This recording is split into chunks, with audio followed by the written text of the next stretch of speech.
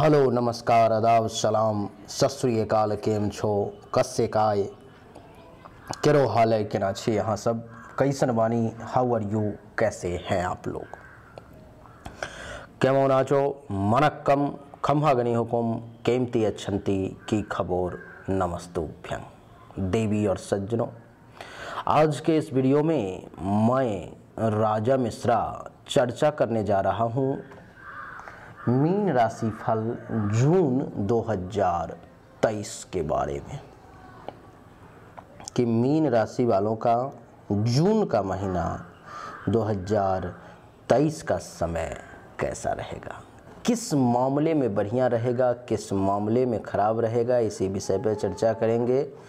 देवी और सज्जनों, आपकी जानकारी के लिए बता दूँ कि हर बार मेष राशि से हमने शुरू किया राशिफल, बताया।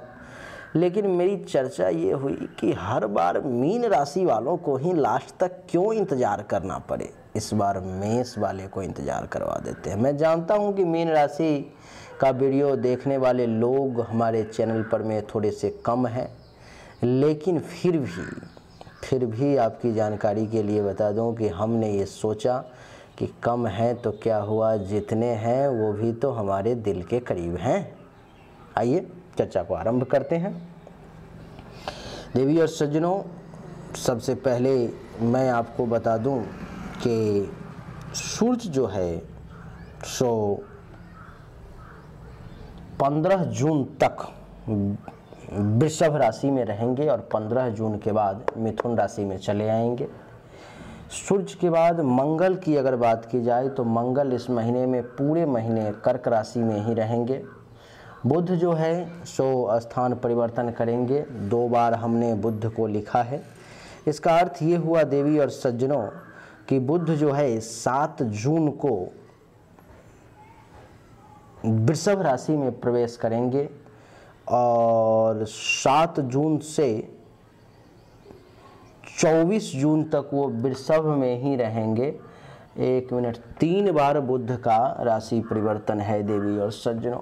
सात जून तक मेष में, सात जून के बाद वृषभ में और उसके बाद 24 जून को फिर से मिथुन में। इस महीने में तीन तीन बार बुद्ध का राशि परिवर्तन है। गुरुदेव, पूरे महीने आपके कुंडली के द्वितीय भाव में ही रहेंगे। शुक्र भी पूरे महीने आपके कुंडली के पंचम भाव में ही रहेंगे। शनि भी द्वादश भाव में, राहु प्रथम में और केतु सप्तम में। ऐसा ही चलेगा। देवी और सज्जनों, आइए चर्चा को आरंभ करते हैं। समझने का एक एक करके प्रयास करेंगे कि स्थिति, परिस्थिति कैसी रहने वाली है। क्या अच्छा क्या बुरा फल आपको मिलने वाला है? चर्चा सबसे पहले जो है, सो शुरू करते हैं सूर्य से सूर्य आपके कुंडली के छठे भाव के मालिक हैं और बैठे हुए हैं तीसरे भाव में। छठा भाव जैसा कि आप सब जानते हो कि दुश्मनों का होता है, रोग का होता है, शत्रु का होता है, नहीं? तो सूर्य का तीसरे भाव में बैठना आपके लिए कहाँ तक अच्छा कहाँ तक बुरा, उसको देखिए। सूर्य देवी और सज्जनों 15 जून तक हमने आपको बताया कि 15 जून तक ये कुंडली के तीसरे भाव में है, उसके बाद जो है सो चौथे भाव में आएँगे। तो 15 जून तक का पहले सूर्य का फल बता रहा हूँ आपको। 15 जून तक ये सूर्य जो है, सो महर्षि कह रहे हैं कि आपको रोग से मुक्ति दिलवाने का प्रयास किया जाएगा।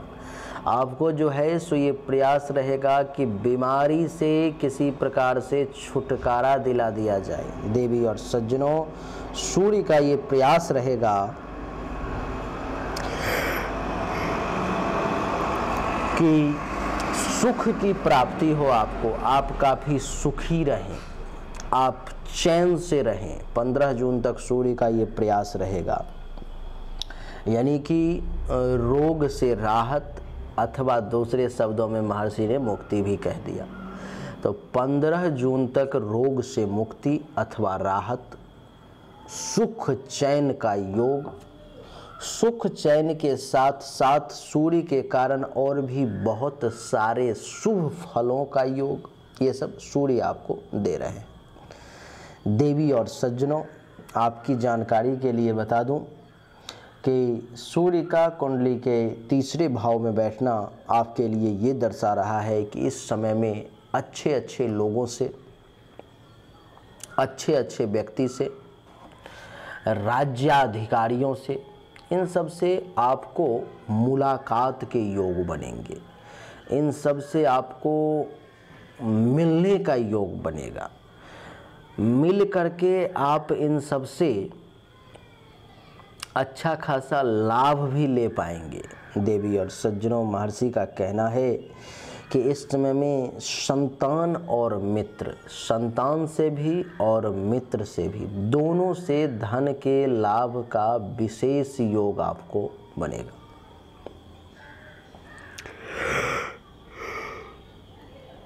संतान से भी और मित्र से भी यानी कि आपके बच्चे भी धन के मामले में आप उनसे लाभ चाहते हैं, सपोर्ट चाहते हैं तो आपको वो करेंगे। आपका जो दोस्त है, आपका जो मित्र है, इष्ट मित्र है, उनकी तरफ़ से भी आपको लाभ अच्छा खासा मिलेगा। देवी और सज्जनों, इतना ही नहीं, महर्षि का कहना है कि कुंडली के तीसरे भाव में सूर्य के बैठने कारण इस समय में आपको शत्रु जो है, सो बाल वाका नहीं कर पाएगा। शत्रु सरलता से परास्त हो जाएगा। शत्रु को हारना पड़ेगा। शत्रु आपके सामने टिक नहीं पाएगा। महर्षि का ये भी कहना है कि इस समय में धन, मान सम्मान, प्रतिष्ठा, इन सब की जो है, सो आपको खूब प्राप्ति होने जा रही है। पैसा भी आपके पास खूब आएगा। मान सम्मान की भी खूब प्राप्ति होगी और प्रतिष्ठा में तो चार चाँद लगना ही है। यानी कि हर मामले में समय बड़ा सुंदर महसूस हो रहा है।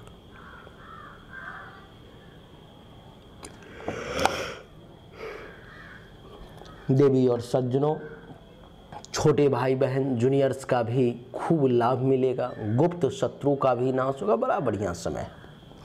सूर्य जब कुंडली के चौथे भाव में पंद्रह जून के बाद आ जाएँगे तो थोड़ी सी परेशानी होगी। क्योंकि छठे भाव का मालिक और चौथे में आ जाना,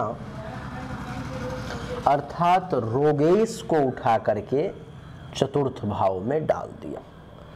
जिसके कारण से इस समय में क्या होगा कि माता को, माँ को हेल्थ वाइज इशू का विशेष सामना करना पड़ेगा। तबीयत वगैरह ज़्यादा खराब हो सकती है। देवी और सज्जनों, मानसिक तथा शारीरिक, क्या? मानसिक तथा शारीरिक व्यथा जो है, सो आपको 15 जून के बाद ज़्यादा परेशान कर सकती है मीन राशि वाले।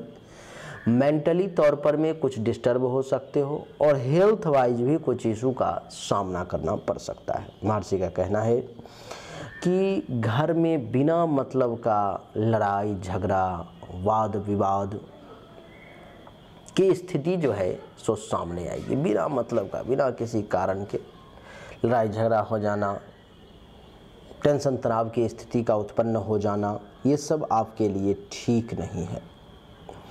घरेलू कलह के कारण आपका मन भी बेचैन रहेगा और ये लगेगा कि ये जीवन भी कोई जीवन है। ऐसे मन में अनुभूति आ सकते हैं, विचार आ सकते हैं। देवी और सज्जनों, ज़मीन जायदाद से संबंधित, गाड़ी से संबंधित, अचल संपत्ति से संबंधित, किसी न किसी रिगार्डिंग माता भी उसमें इंक्लूड रह सकती हैं। इन सबसे संबंधित कुछ समस्याओं का आपको सामना करना 15 जून के बाद पड़ सकता है। किसी प्रकार से कुछ परेशानी आपके सामने में आ सकती है। देवी और सज्जनों, आपकी जानकारी के लिए बता दूँ कि कुंडली के चौथे भाव में सूर्य का बैठना 15 जून के बाद अच्छा संकेत नहीं, शुभ संकेत नहीं। ये क्या करेंगे? कि सुख सामग्री के भोग से आपको वंचित करने की कोशिश करेंगे। इनका प्रयास रहेगा कि आपका जो सुख सामग्री है, आप जो कर रहे हैं, आपको जो प्राप्ति है, जो सामान है अवेलेबल आपके पास में, उसका भी सही तरीके से ये आपको इस्तेमाल ना करने देंगे। मान हानि की भी संभावना कुछ दिखाई दे रही है, देवी और सज्जनों। तो 15 जून के बाद का समय सूर्य के हिसाब से आपके लिए अच्छा नहीं है, सूर्य का फल आपको बढ़िया नहीं मिलेगा। मेरे तरफ़ से आपके लिए एक विशेष संकेत देवी और सज्जनों, कि संभव हो तो पंद्रह जून के बाद कुछ गरीब को रविवार के दिन गेहूँ दान कर दें। आपके लिए अच्छा रहेगा। गेहूँ नहीं हो तो लाल चंदन पुरिया वाला दो रुपया में आता है। वही किसी मंदिर में पंडित पुजारी को दान कर दें। रविवार को पंद्रह जून के बाद अच्छा रहेगा आपके लिए। सूर्य के बाद अब चर्चा करेंगे देवी और सज्जनों मंगल की। मंगल इस कुंडली में मालिक है द्वितीय और नवम। नवम भाव के और द्वितीय भाव के मालिक हैं, यानी कि धन के और भाग्य के, दोनों के मालिक हैं मंगल देवता। और नीच के बैठे हुए हैं कुंडली के पंचम भाव में, जो भी कुछ अच्छा संकेत नहीं दिख रहा देवी और सज्जनों। नीच का पंचम भाव में मंगल का बैठना बड़ा खराब फल देने वाला लग रहा है। यहाँ पर मैं मंगल के बैठने के कारण आप ये अनुभव करेंगे कि धन और स्वास्थ्य दोनों का नाश होगा। यानी कि तबीयत तो खराब होगी ही और पैसों का भी बर्बादी होगा। दोनों मामले में, यानी कि अपना पैसा भी नुकसान होगा और तबीयत भी खराब होगा, मन भी बेचैन करेगा। ये मंगल पूरे महीना आपको डिस्टर्ब करने का, कुछ ना कुछ कुछ ना कुछ डिस्टर्ब करने का प्रयास करेगा। आप तो ये मान के चलो एग्ज़ाम्पल के लिए कि ये जो कुंडली है, आपका समाज है पूरा ये। और समाज में ज़रूरी नहीं तो एक ही व्यक्ति है जो आपको ख़राब फल दे, एक ही व्यक्ति है जो आपका दुश्मन है, एक ही व्यक्ति है जो आपको नुकसान पहुँचाने का प्रयास कर रहा है। नहीं, ये पूरा समाज है। समाज में कुछ लोग आपके फेवर में होंगे तो कुछ लोग आपके विपरीत होंगे। आपको झेलना पड़ेगा सबको। हाँ उसके लिए है कि बुद्धि विवेक का सहारा लेकर के अपना उपाय करते हुए माध्यम से निकल जाना। है तो मंगल का पंचम भाव में नीच का बैठना आपके तबीयत के लिए बहुत ज़्यादा नुकसानदेह है। आपको हेल्थ वाइज इशू का ये सामना करवा सकता है।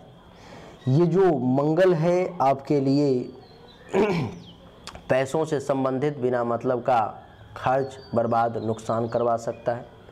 ये जो मंगल है आपके लिए देवी और सज्जनों, आपका जो संतान अगर है, आपके बच्चे अगर हैं तो उनको भी परेशान कर सकता है। तबीयत उनका भी खराब हो सकता है। यहाँ तक कि संतान को बहुत ज़्यादा घोर कष्ट की स्थिति भी उत्पन्न कर सकता है। ये नीच का बैठा हुआ पंचम भाव में मंगल। देवी और सज्जनों, आपकी जानकारी के लिए बता दूँ कि आपके मन में पाप कर्मों के प्रति खराब कर्म जो है, जिसको समाज, हमारा धर्म शास्त्र अच्छे नज़रों से नहीं देखता है, जिसको हम एक पाप के दृष्टि से देखते हैं, उसको करने का विचार आपके मन में मंगल लाने का प्रयास करेगा। मंगल का ये प्रयास रहेगा कि किसी न किसी माध्यम से आपकी रुचि जो है, आपका मन जो है, सो गलत कार्यों में लीन हो जाए, जो ठीक नहीं है। इस समय में आपके गौरव को, आपके प्रताप को धक्का लग सकता है और शत्रु जो है, कुछ आपको विशेष परेशान करने की कोशिश कर सकता है मंगल के कारण। देवी और सज्जनों, मंगल के लिए कुछ उपाय मैं आपको बता देता हूँ।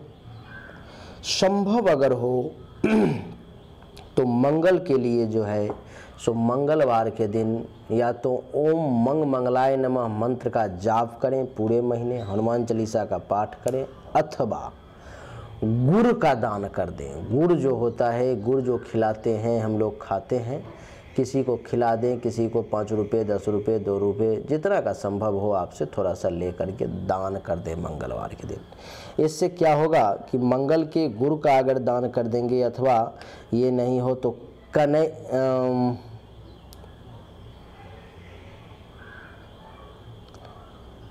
लाल रंग के वस्त्र का जैसे रुमाल, कपड़ा कोई भी अगर दान कर देते हैं ये आपके लिए बढ़िया रहेगा अच्छा रहेगा ये। अगर कर सकते हो तो नहीं तो मंत्र तो है ही। ओम मंग मंगलाय नमः, उस मंत्र का जाप करें। देवी और सज्जनों, बात करेंगे बुद्ध की। बुद्ध जो है, सो कुंडली के द्वितीय भाव में सात तारीख तक, यानी कि सात जून तक रहने वाला है। उसके बाद बुद्ध कुंडली के तीसरे भाव में चले आएँगे। उसके बाद बुद्ध कुंडली के 24 तारीख के बाद, यानी कि 24 जून के बाद चौथे भाव में चले आएँगे। तो सबसे पहले 7 जून तक बुद्ध क्या रिज़ल्ट देगा, उसको श्रवण कीजिए। 7 जून तक बुद्ध का मेष राशि में बैठना, ये दर्शाता है देवी और सज्जनों, कि आपके लिए ये आनंद का समय बुद्ध प्रदान करेगा। आनंद के साथ साथ देवी और सज्जनों, आपको धन और आभूषण दोनों देने का प्रयास बुद्ध करेगा। देवी और सज्जनों, आपकी भाषण कला से मनुष्य इस समय में बहुत प्रभावित होंगे। आपकी भाषण कला से, आपके वाक शैली से, बोलने की विधि से लोग बहुत प्रभावित होंगे, जिससे आपको धन का अर्जन भी होगा, धन की प्राप्ति भी होगी। विद्या में भी आपकी उन्नति होगी, आप विद्यावान कहलाएँगे।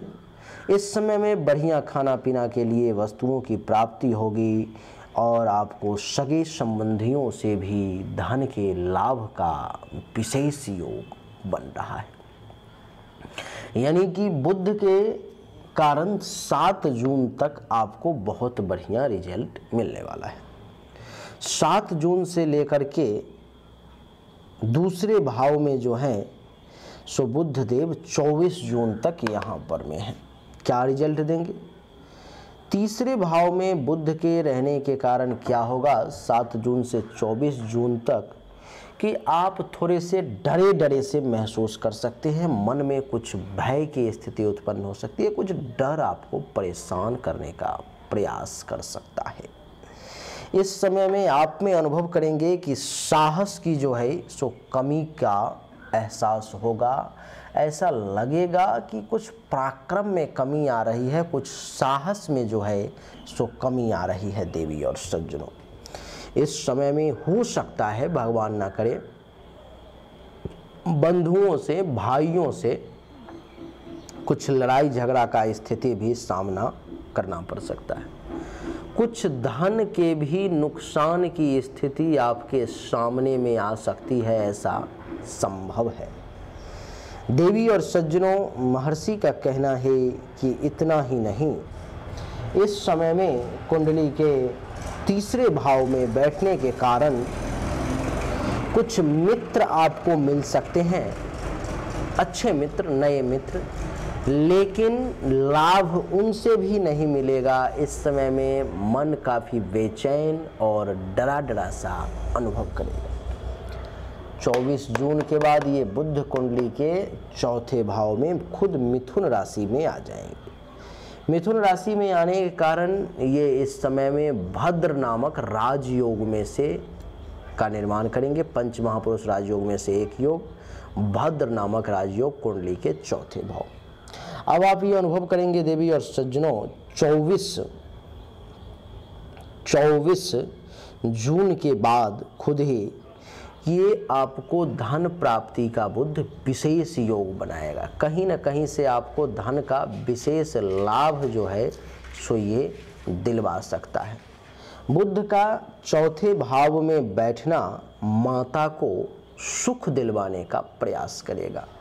माँ भी आपकी सुखी रहेंगी और आप खुद भी अपने आप में सुखी महसूस करेंगे। देवी और सज्जनों, ज़मीन से संबंधित, जायदाद से संबंधित, अचल संपत्ति से संबंधित, मकान, गाड़ी, इन सब के सुख का योग और इन सब में कुछ बढ़ोतरी के भी योग बन रहे हैं, जो आपके लिए बड़ा सुंदर है। देवी और सज्जनों, आपकी जानकारी के लिए बता दूँ कि कुंडली के चौथे भाव में बैठना बुद्ध का आपको अच्छे अच्छे विद्वानों से संपर्क करवाएगा, भद्र पुरुषों से तथा उचित और उच्च पदस्थ लोगों से भी आपकी मित्रता को बढ़ाएगा ये। लोगों से आपकी मित्रता बढ़ेगी। घरेलू जीवन का सुख भी आपको अच्छा मिलेगा। अपने घर में जो है तो सुख और शांति से जब समय बीतता है ना तो मन में ये भाव आता है कि स्वर्ग कहीं और नहीं, यहीं पर मैं अपने परिवार में ही है। देवी और सज्जनों लेकिन जब अपना घरेलू जीवन, अपना पति, पत्नी, संतान माता पिता के साथ लड़ाई, झगड़ा, टेंशन, तनाव की स्थिति जब उत्पन्न होती है ना, तब जो है, सो ऐसा लगता है कि इस जीवन का ही त्याग कर दें। अंदर तक बड़ा झकझोर देता है देवी और सज्जनों। जीवन तक त्याग करने की इच्छा उत्पन्न हो जाती है, परिवार तक छोड़ने की इच्छा उत्पन्न हो जाती है। तो बुद्ध का चौथे भाव में बैठना हर मामले में बढ़िया संकेत दे रहा है। इज़्ज़त, प्रतिष्ठा, मान सम्मान में वृद्धि काम धंधा का बढ़िया चलना हर मामले में। 24 जुलाई के बाद बुद्ध बड़ा सुंदर रिज़ल्ट दे रहा है। बुद्ध के बाद गुरु की चर्चा करेंगे। गुरु आपके कुंडली के द्वितीय भाव में बैठे हुए हैं। मेष राशि में गुरु इस कुंडली के मालिक हैं। और द्वितीय भाव में गुरु का बैठना देवी और सज्जनों बड़ा सुखद परिणाम देने वाला है। महर्षि का कहना है कि द्वितीय भाव में जब गुरु आ जाए तो फिर क्या कहने हैं? यहाँ पर में गुरु का बैठना आपके लिए धनागमन का योग बनाता है। धन के आगमन का योग बनाता है। धन के प्राप्ति का योग बनाता है। देवी और सज्जनों, धन की आपको प्राप्ति होगी। धन की आपको जो है, सो लेन देन बढ़ेगा, अकाउंट में बैलेंस बढ़ेंगे इस समय में। आपके लिए परिवार के लोगों के साथ सुख और समृद्धि में भी बढ़ोतरी का बड़ा सुंदर योग है, देवी और सज्जनों। वैवाहिक जीवन और संतान का सुख, ये दोनों मिलने का इस महीने में बहुत बढ़िया योग बन रहा है। शत्रु स्वयं इस समय में झुक करके, टूट करके आपके साथ संधि करने के लिए मजबूर हो जाएगा। महर्षि का कहना है कि इस समय में ख्याति बढ़ेगी आपकी और रुचि, परोपकार और दान आदि भी आप करते रहेंगे। आपकी रुचि इस समय में परोपकार, दान में जो है, सो ज़्यादा ही बढ़ेगी। चल संपत्ति जैसे कैश, सर्टिफिकेट पैसा, इन सब में भी बढ़ोतरी के बड़े सुंदर योग देख रहे हैं। गुरु का बहुत अच्छा रिज़ल्ट है, बात करेंगे शुक्र की। शुक्र कुंडली के पंचम भाव में है। पंचम भाव में शुक्र के आने के कारण पूरे महीने रहेंगे, जिसके कारण से आपको संतान का स्नेह प्राप्त होगा। संतान आपका काफ़ी ध्यान रखेंगे। संतान आपके काफ़ी मान सम्मान करेंगे। आपको अन्न, धन, यानी कि भोजन, कपड़ा पैसा, इन सब के प्राप्ति का बड़ा सुंदर योग बन रहा है। देवी और सज्जनों, उत्तम भोजन आपको मिल सकता है। यश में वृद्धि के संकेत दिखाई दे रहे हैं। पैसों में जो है आपको बढ़ोतरी होगी, वृद्धि होगी। शत्रुओं पर विजय प्राप्त होगा। दुश्मन आपके सामने टिक नहीं पाएगा शुक्र के कारण। संतान के तरफ़ से खूब सुख, संतान आपकी बात को सुनेगी, संतान आज्ञाकारी होगा, बड़ा सुख मिलेगा। प्रेम प्रसंग में है तो प्रेमी प्रेमिका के साथ संबंध और भी निकट आएँगे, और भी सुंदर रहेगा, बड़ा अच्छा रहेगा। प्रेम में प्रगाढ़ता की वृद्धि होगी, बड़ा डीप प्रेम की प्राप्ति होगी। डिपार्टमेंटल कोई एग्ज़ाम होने वाला है अथवा हो रहा है तो उसमें भी लाभ मिलेगा। देवी और सज्जनों, आपके लिए बता दूँ कि आमोद प्रमोद के स्थानों से सिनेमा क्लब आदि से भी आना जाना इस समय में लगा रह सकता है। सप्तम दृष्टि एकादश भाव पर में। आय में भी वृद्धि करेगा। आमदनी आपका खूब बढ़ाएगा, शुक्र। आमदनी के साथ साथ देवी और सज्जनों, आपके लाभ में भी वृद्धि होगी। सबसे बड़ी बात कि कुछ बड़ा उपलब्धि की प्राप्ति भी हो सकती है कुछ बड़ी उपलब्धि की प्राप्ति होने के भी योग आपके लिए बन रहे हैं। अगर आपके पास कोई बड़ा भाई बहन है भाई हो बहन हो कोई दिक्कत नहीं है नहीं है तो बड़े भाई बहन समान जिनको आप मानते हो वो भी नहीं है। अगर आप आ, किसी ऑफ़िस में कहीं पर में काम करते हो आपके सीनियर्स हैं तो उनसे भी लाभ मिलेगा। इच्छा की पूर्ति होगी, बुज़ुर्ग को पुत्रवधु दामाद का सुख भी मिलेगा। बड़ा सुंदर और सुखद समय। शुक्र के बाद देवी और सज्जनों शनि की चर्चा करेंगे। शनि आपके कुंडली के बारहवें भाव में पूरे महीने के लिए है। क्या करेंगे शनि? बारहवें भाव में जब शनि आते हैं तो क्या होता है कि अपने कुटुंब से आपको दूर जाना पड़ सकता है। अपने परिवार के लोगों से आपको दूर जाना पड़ सकता है। सगे संबंधित और प्रतिष्ठित लोगों अपने लोगों से मतभेद की स्थिति कुछ सामने आ सकती है। कुछ टेंशन तनाव हो सकता है। व्यर्थ का धन व्यय हो सकता है। स्वास्थ्य का भी ठीक रहना मुश्किल रहता है। दूर के स्थानों की यात्रा भी आपको करनी पड़ सकती है। कहीं दूर भी जाना पड़ सकता है। शनि के कारण दुख उठाने का भी योग इस महीने में बना हुआ है आपके लिए। कुछ भी हो, भाग्य के पतन का डर, भाग्य का सपोर्ट ना मिलने का डर जो है, मन में कहीं ना कहीं बैठा ही रहता है। यह समय संतान के लिए भी कष्टप्रद हो सकता है।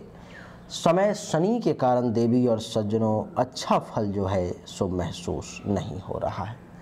इसलिए संभव हो तो शनि के लिए उड़द के दाल का दान करें, तेल का दान करें। वो भी ना संभव हो तो लोहे का दान करें, वो भी ना संभव हो तो काली गाय अथवा भैंस को, काले भैंस को कुछ ज़रूर खिलाएँ शनिवार के दिन। बात करेंगे राहु की। राहु कुंडली के आपके प्रथम भाव में बैठे हुए हैं। और प्रथम भाव में राहु के आने के कारण आपके मान सम्मान में वृद्धि होगी। यहाँ है राहु। आपके धन संपत्ति में भी वृद्धि का कुछ योग इस महीने में राहु जो है, देवी और सज्जनों, बनाएगा। महर्षि का कहना है कि पुत्र को भी धन प्राप्ति का योग बनेगा।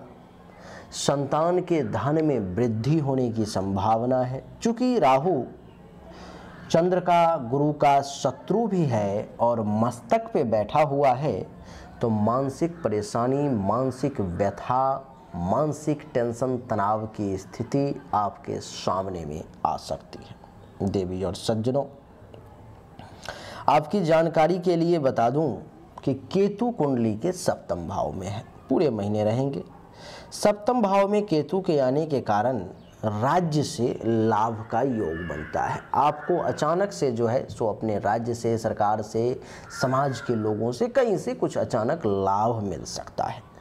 मान सम्मान, इज़्ज़त, प्रतिष्ठा में भी वृद्धि के बड़ा सुंदर योग बनते हैं। आपके व्यापार में, बिज़नेस में अक्षमात वृद्धि की रैंडम वृद्धि, अचानक वृद्धि के भी योग बनते हैं, तथा धन का भी आपको विशेष लाभ जो है, सो केतु देता है। तो केतु का भी बढ़िया रिज़ल्ट है। इसमें कुछ समय के लिए सूर्य 15 जून के बाद थोड़ा सा खराब है, और मंगल थोड़ा सा खराब है, शनि खराब है, बाकी सब ठीक ही है। तो बहुत ज़्यादा घबराना नहीं है, समय अनुकूल रहेगा, लेकिन परेशानी भी आएगी। सभी के सभी ग्रह कभी भी आपके फेवर में नहीं हो सकते। तो परेशानी के साथ आपको चलना पड़ेगा, जीवन का सामना करना पड़ेगा। हाँ जिस मामले में अच्छा है, ज़्यादा से ज़्यादा रिज़ल्ट बढ़िया लेने का प्रयास करें। जो बुरा है, उसके लिए उपाय भी बता दिया। तो उम्मीद करता हूँ कि मीन राशि वालों को ये जून महीने का राशिफल ज़रूर पसंद आया होगा अच्छा लगा होगा, पहले आप ही का दिया हूँ।